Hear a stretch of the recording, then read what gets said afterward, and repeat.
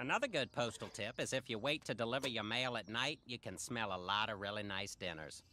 Oh no, it's that Amazon drone. Try to ignore it.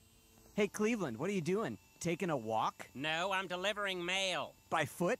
Yeah, that won't take too long. Well, gotta go. Gotta deliver these fat pants to your fat son. He was harsh, but not untruthful. We got a special order Cleveland Junior's pants from a company that manufactures grill covers.